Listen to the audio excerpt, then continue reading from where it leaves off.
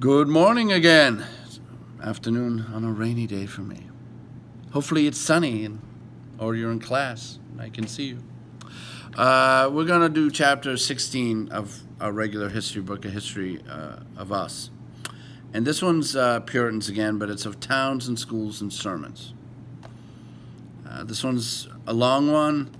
Hopefully, it won't make uh, I won't get lost like last time reading with the phone. It is a little tough. All right. All right. So wish me luck. Of towns and schools and sermons. At first, the New England settlers built their homes behind high fences called stockades. They were fearful of the unknown, of Indians and animals. Soon they began spreading out beyond the fences into small towns with names like Greenfield, Springfield, and Long Meadow. The names describe the land. Many of those early settlements were just a row of houses strung alongside abandoned Indian fields that the English settlers found and took. They lived with Indians as neighbors, although their animals sometimes made that difficult. The Native Americans hunted animals. They had no horses, cows, sheep, or hogs. The Indians soon discovered that those English grazing animals could destroy their cornfields.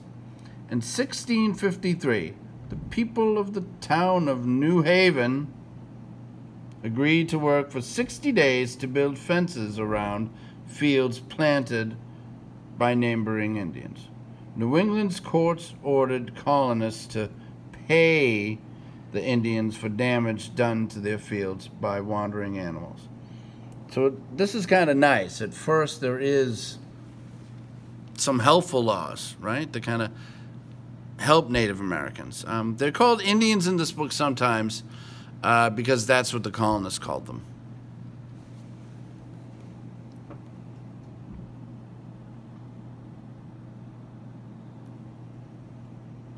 As the colonists began to prosper, they built towns in America. There was something like the villages they were they left behind in Europe. They were compact, easy to defend, and friendly.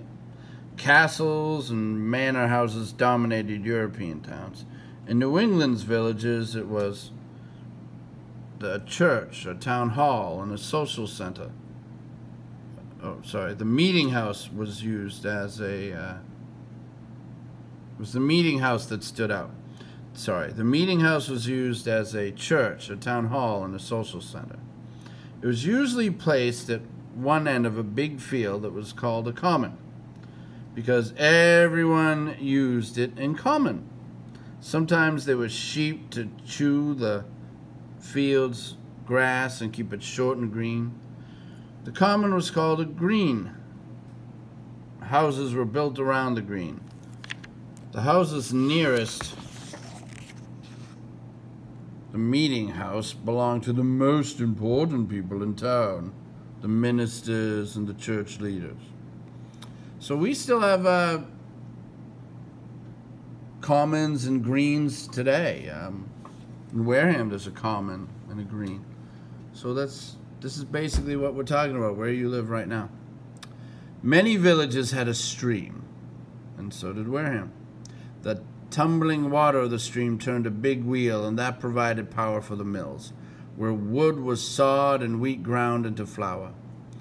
As the town grew, other buildings were added general store, a blacksmith shop, a furniture maker shop, a candle maker's. If the town was large enough, there might be an inn.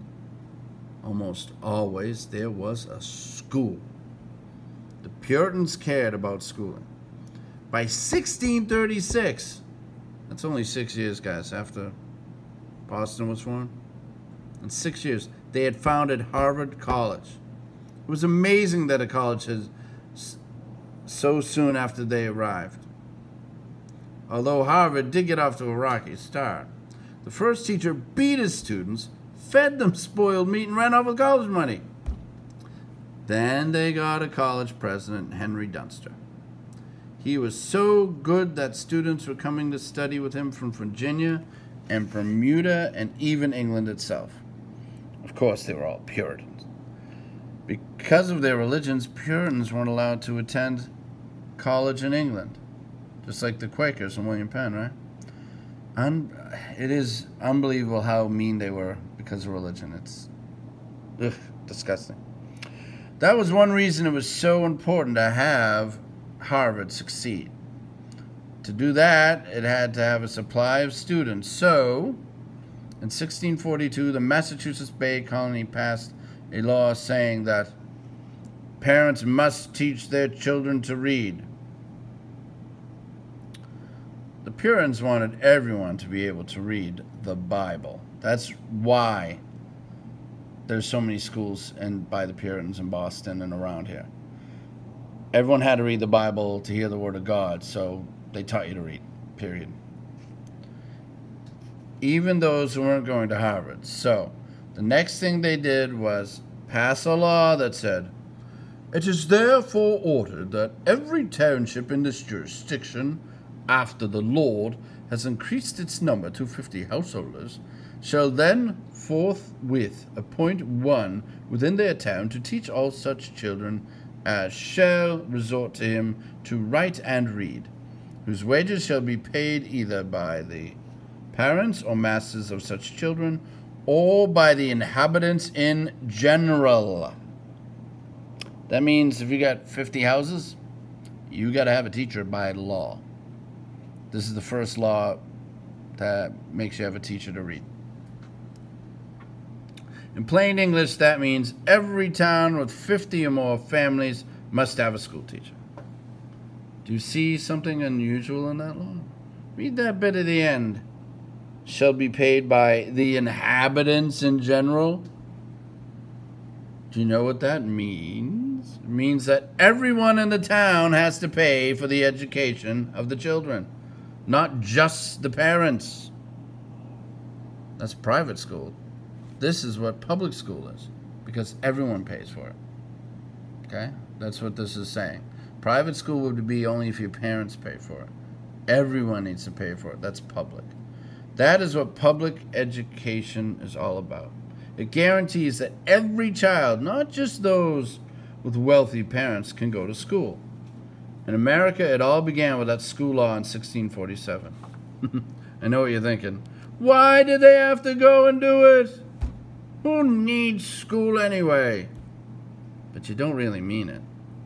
It isn't fun to be ignorant. In the 17th century, much teaching was done by parents or in church, or if you were an apprentice, by your master. But the Puritans could see that sometimes that wasn't enough. Some parents just weren't good teachers. And even though many Puritans were highly educated themselves, the Puritans thought it important that everyone read the Bible. In Boston, the larger towns, some children were accepted. Oh, sorry, actually taught to read the Bible in its original languages. So little Puritan boys and girls of six and seven learned to read Latin and Greek, and a few learned Hebrew too. That sounds hard, and it, it was. But learning language is great training for the mind. Many of the, this nation's greatest thinkings came from Puritan stock, like John Adams. Here's a cool picture of that New England village. If you go to Sturbridge Village, even though that would be like a hundred years later, it's still kind of the same. Very similar.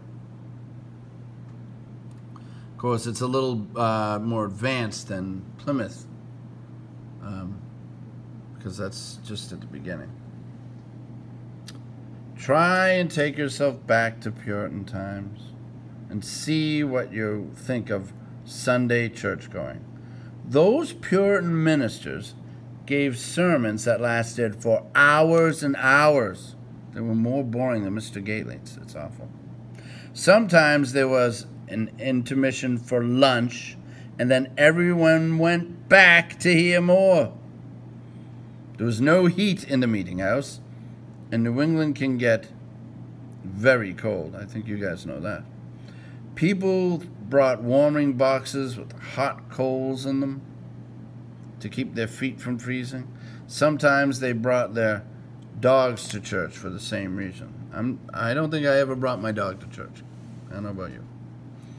A church, a church official held a tickling rod to wake up anyone who looked as if it, he might be falling asleep. The dog whipper, that's a real job. The dog whipper took out dogs who barked. If you were a troublemaker and wiggled and made noise, you could get locked up in the town stocks. You'd have to sit there with your hands and feet stuck into a wooden contraption, and everyone would make fun of you. We know you wouldn't like that kind of life, but maybe things weren't so bad for the Puritan boys and girls. Maybe some of them look even looked forward to the sermons. Remember, in Puritan Massachusetts, there were no movies and no TVs. At first, there were no newspapers, no magazines, and only a few books. The Puritans were intelligent people who could read and think well. Maybe that will help you understand why everyone tried to listen to the weekly sermon and why Puritans sometimes spent all week talking about it. Okay, guys, thanks a lot. We'll see you next week. Bye.